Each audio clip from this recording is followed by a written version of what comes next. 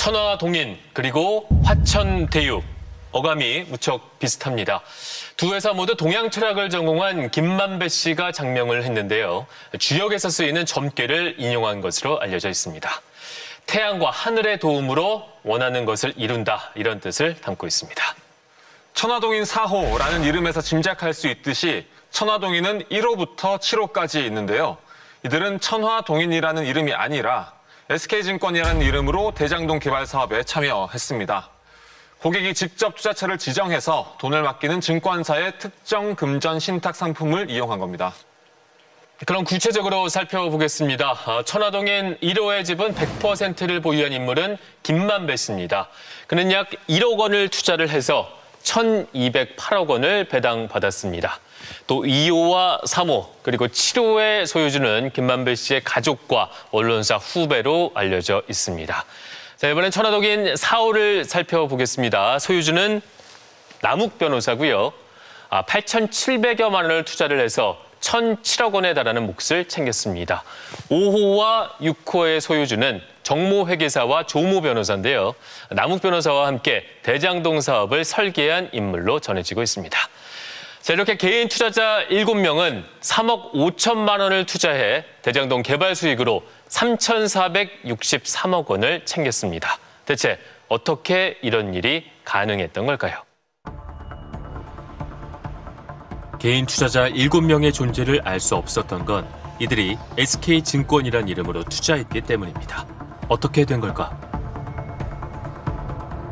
회사가 배당을 받았다고 최초에는 그렇게 다들 보이니까 모인을 했었죠. 2015년도에 어떤 법인들 7개가 와서 그냥 돈을 가지고 와서 그 SP신 성남의뜰 주식을 취득해달라 이게 네. 다예요. 그분들은 왜 SK증권에 어, 저희가 알기로는 하나은행 컨소시엄 쪽에서 SK증권의 특정금전 신탁, 신탁 업무를 하니까 그쪽으로 가라고 한 걸로 제가 알고 있거든요. 대장동 민간 사업자의 대표격인 하나은행이 개인 투자자들을 받아들였다는 것. 예, 저는 MBC의 조윤미 PD라고 하는데요. 전화를 계속 안 받으셔서 공문을 좀 전달 드리고 갈까 싶어가지고요.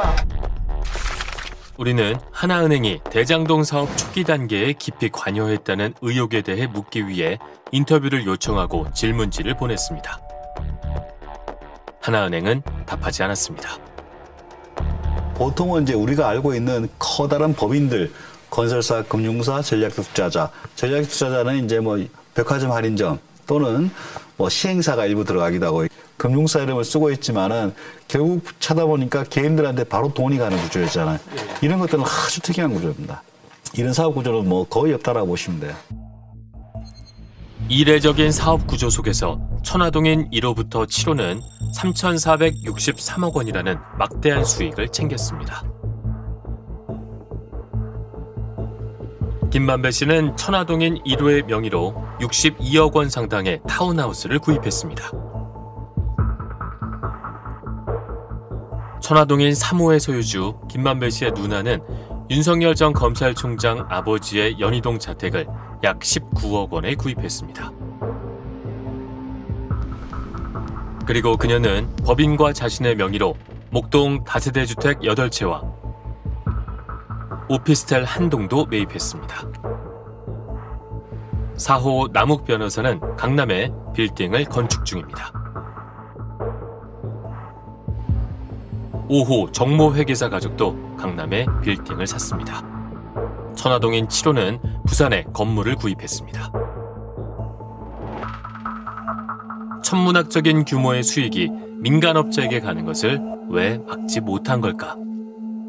성남시와 네, 민간 투자자들의 약정 내용은 이렇습니다. 민간 투자사가 모든 사업 비용을 부담하고 모든 개발 사업을 전담하고 모든 위험 부담을 한다. 그리고 성남시 이익 5,503억 원을 확정해서 보장을 하고 남는 거는 본인들이 취득한다. 뭐 손해 보면 당연히 본인들이 손해를 감수하는 겁니다. 그리고 자녀 이익이 있을 때 민간 투자 기관 간 내부 이익 배분은 당연히 예, 저희로서는 알 수 없습니다. 당초 성남시가 개발 수익을 확정했기 때문이란 지적이 있습니다.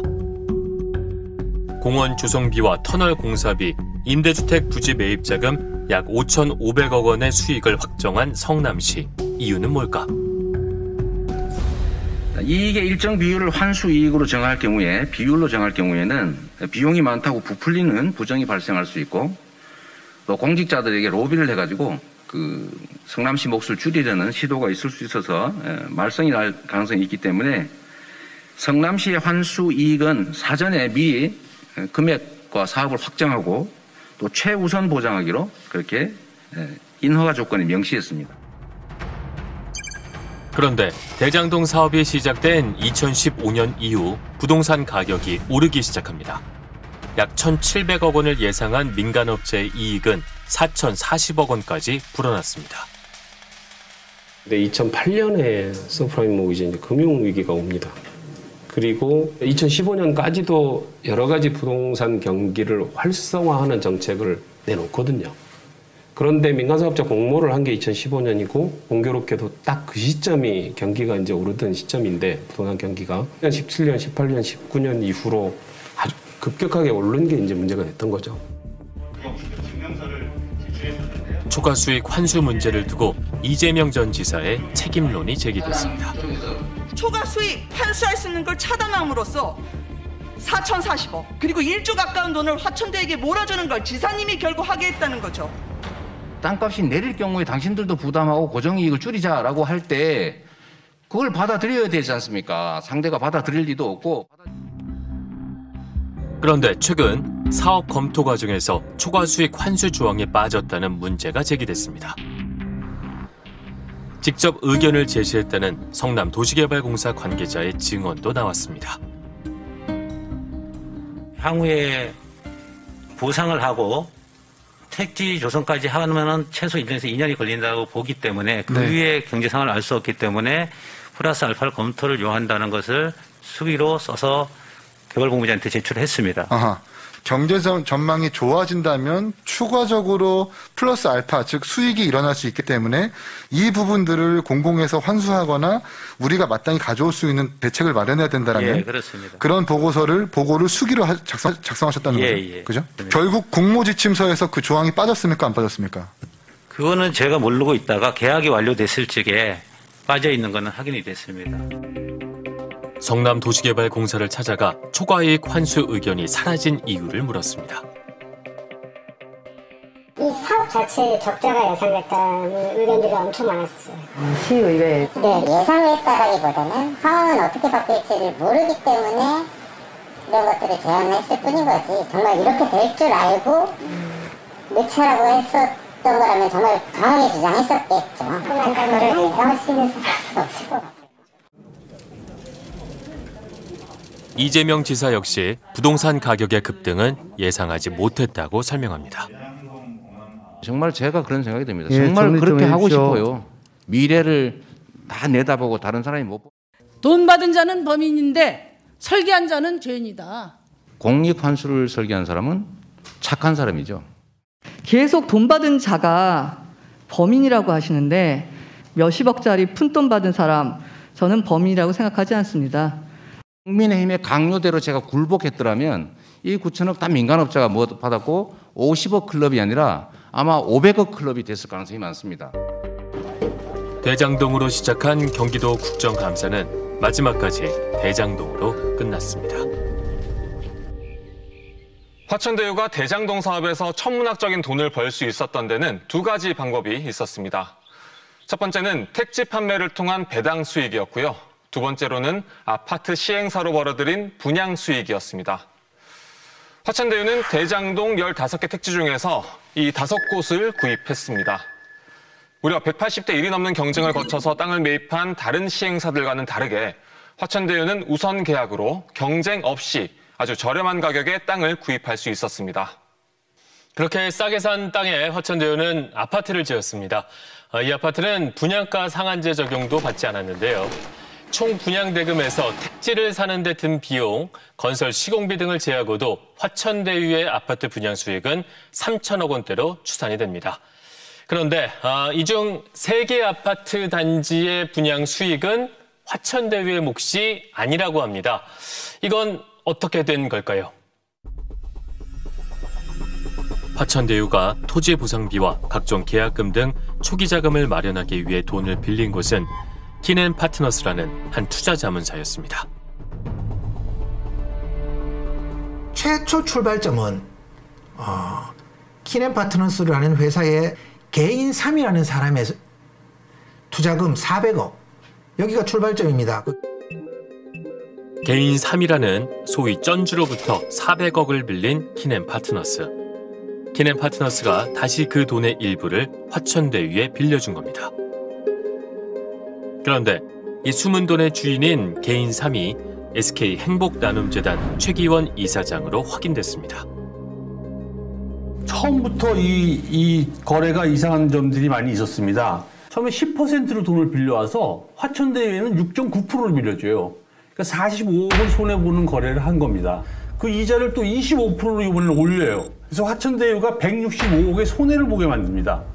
이것도 이상하죠. 만약 독립적인 회사라면 이런 손해보는 165억이나 거액을 손해보는 거래를 할 수가 없죠. 그런데 그런 거래가 일어납니다. 2018년 키넨 파트너스와 화천대유의 계약이 다시 변경됩니다. 이번엔 투자금 형태로 바꿔 두 개 구역 아파트 분양 수익 전체를 넘기는 계약이었습니다. 사실상 사업 시행업자와 유사한 그런 위치를 차지하게 되는 거죠. 이게 이게 투자금의 계약의 어떤 내용이고요.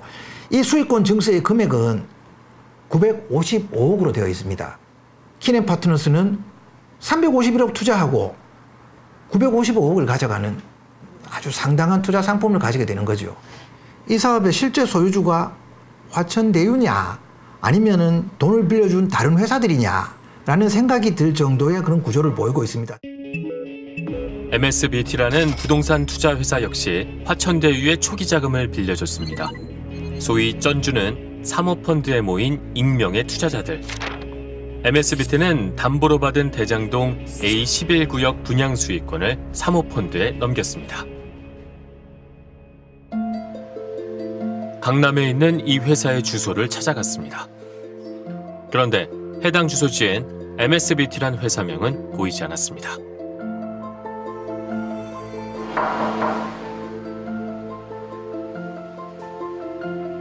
평일 오후에도 사무실은 텅 비어 있었습니다.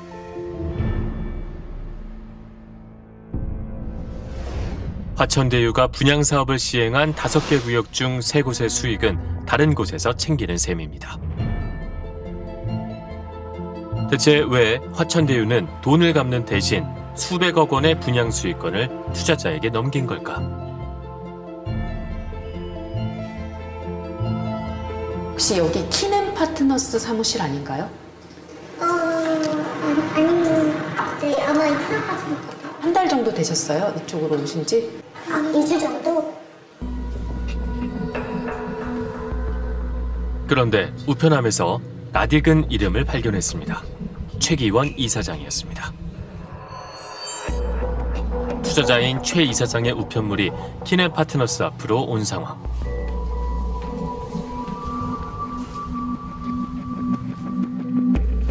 우리는 최기원 이사장을 찾아가 봤습니다.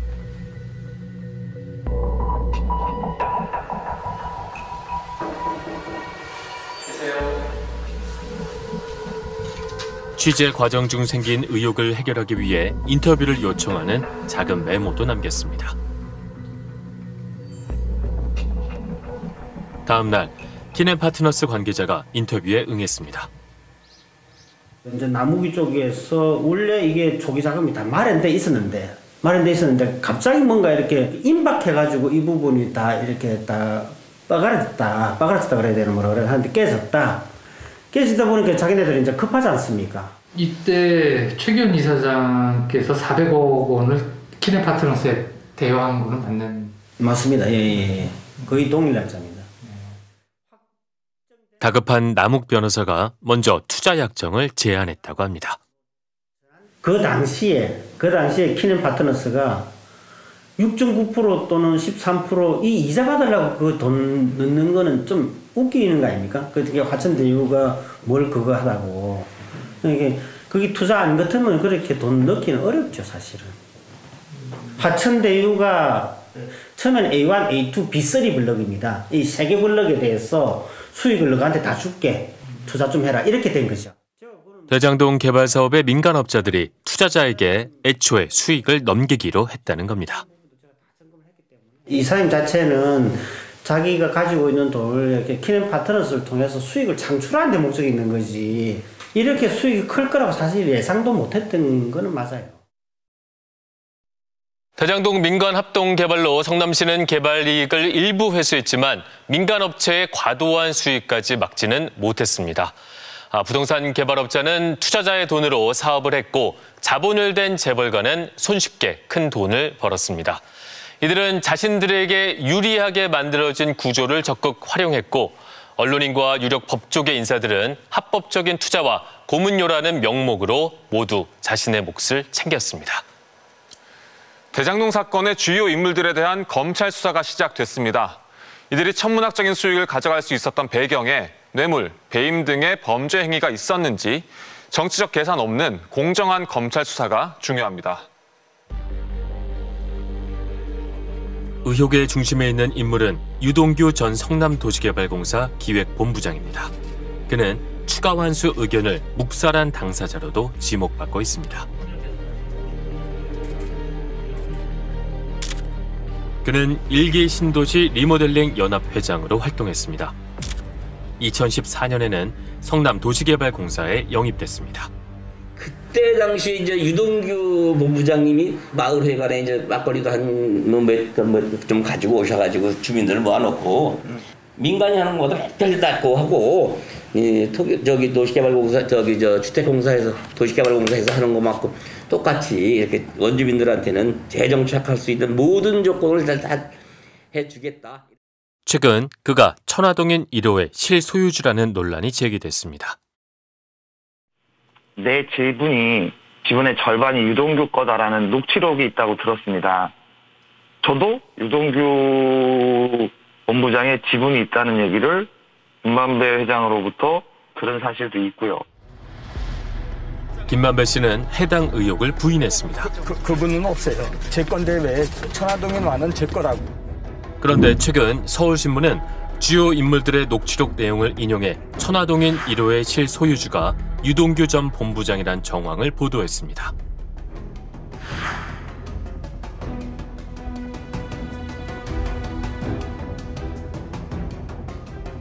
배임과 뇌물 혐의로 구속된 유동규 전 본부장. 이에 대해 이재명 지사는 인사권자로서 처음으로 사과했습니다. 그렇게 저도 자신은 노력했지만 관련 공직자 일부가 오염되고 또 민간 사업자가 유착했다는 그런 의혹에 대해서는 어, 제가 인사권자로서 깊이 사과드립니다. 그런데 지난 22일 검찰은 뇌물 혐의만 적용해 유전 본부장을 기소했습니다. 이번 달 화천대유는 3.3제곱미터당 분양가가 3,400만 원이 넘는 연립주택을 분양했습니다.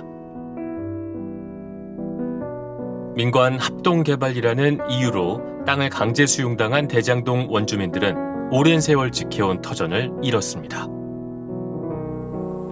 저 끝에 건물, 그것을 거기서 그 안쪽이죠.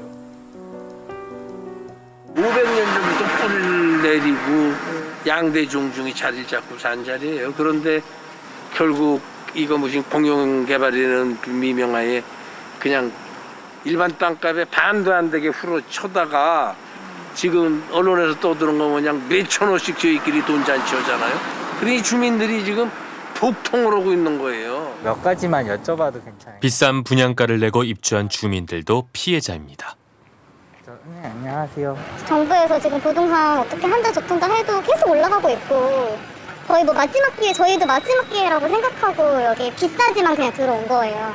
예, 그리고 분양가 비쌌고 지금 다들 대출 기본적으로 뭐 기본이 3억은 줬을걸요. 다.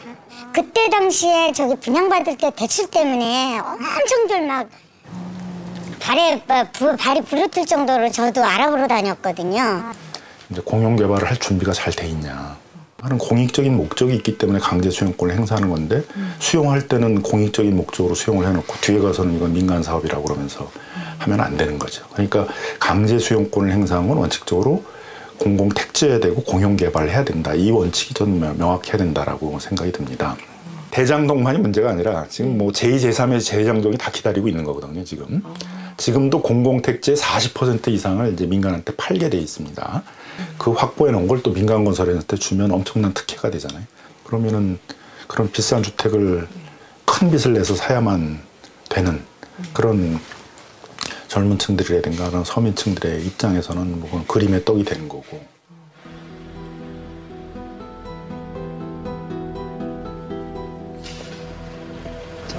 1,400억 정도의 배당이 받으신 걸로 나오는데요.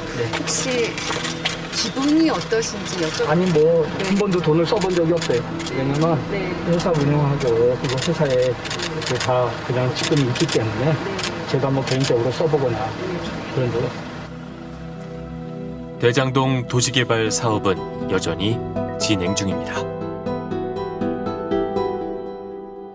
대장동 도시개발 사업으로 민간 합동 개발 방식에서 얼마나 막대한 수익이 발생할 수 있는지 또 그동안 얼마나 많은 이들이 불로소득을 챙겨왔는지 그 실체가 드러났습니다. 지금과 같은 도시개발 방식이 주택 가격의 안정을 위한 근본적인 취지에 맞는지 다시 되새겨 봐야 하는 시점입니다. 지금도 우리 사회 곳곳에선 제2, 제3의 대장동 사업이 진행되고 있기 때문입니다.